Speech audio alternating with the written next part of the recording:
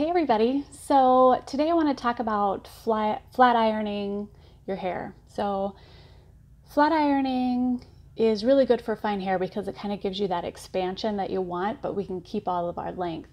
The hardest part is trying to figure out how to hold the dang thing and to wrap, you know, keep going and getting it onto your hair without it frying your hair off because we our hair can't take a lot of heat, so we need to be careful.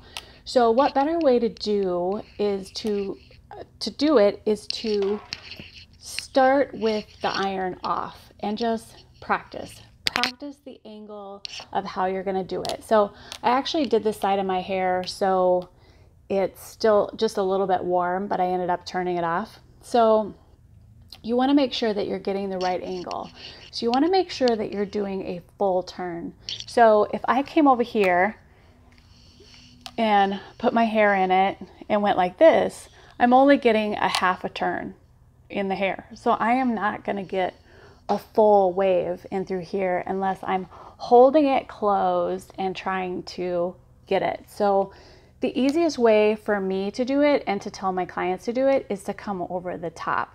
So again, you want to make sure that your hand is directed this way and you can do a full turn on the on the side of your head. So think of it if you've ever used a wand, to, you have to kind of come over the top of your head and then like wind it around. So it's kind of the same concept. You need to have it over. So you need to be taking sections of the hair and they have to be smaller sections than what we did with the curling iron. But you want to come in this way. You want to do a full turn and you want to slide it down to the ends. Now, do this when the iron is off and do it a lot of times to make sure that you're getting that every time. So I'm going to turn my iron back on. You want to make sure this is the D, this is the um, GHD Platinum. And you want to make sure that you can set your irons to a certain temperature. A lot of flat irons go to 450 degrees and remember, the cuticle of our hair is super fragile. So if we are putting 450 degrees on our hair, we are just frying the cuticle off. So we need to make sure that it's around like 250. If you can get by with going even lower than that, like 230, then I would do it for sure. So, okay. So I have, so this is kind of freshly washed hair.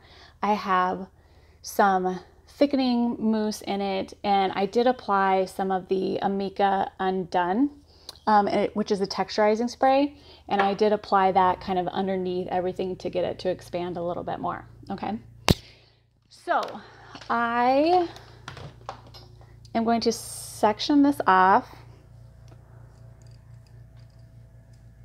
And I'm going to start with this down and through here, okay? So I don't have a whole lot of hair in front of my ear. Remember, I only have 17 hairs that make up the whole front. So I'm taking this, I'm pretty much taking this whole section in front of my ear um, from my crown down. So about that much. Bringing it towards my face. My hand is towards the mirror and I'm coming in this way. I'm going to go straight down with it. I'm going to do a full turn and I'm going to bring it through.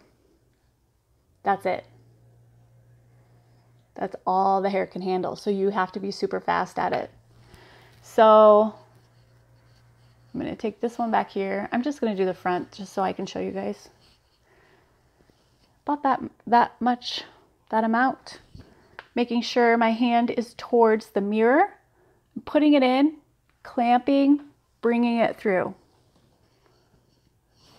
That's it. So with my bangs, since they're a little bit shorter, I just, I keep those out. I might give them a little bend at the bottom, but I'm going to keep those out. So I'm going to take this section. I don't have a comb.